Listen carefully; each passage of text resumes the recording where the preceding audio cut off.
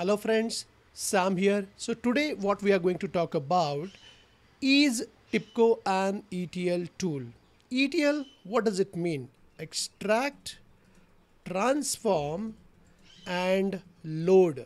So you take the data from source system, you do some transformation in that and you pass it on to the destination system, you load it to the destination system. That is what is called as ETL.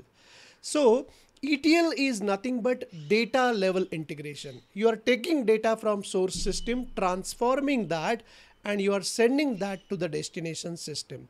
Is TIBCO only ETL tool? So absolutely not. TIBCO is beyond that. Basically, TIBCO is an EAI product, Enterprise Application Integration.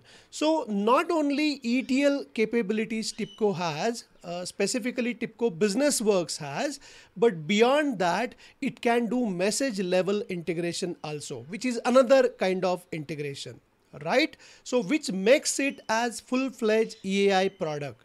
So uh, you can say that ETL is subset of an EAI right? So if you look at etl like informatica is etl product. There are various etl products basically but tibco business works is an eai product right? So definitely it can uh, do the data level integration but beyond that it takes care of message level integration as well.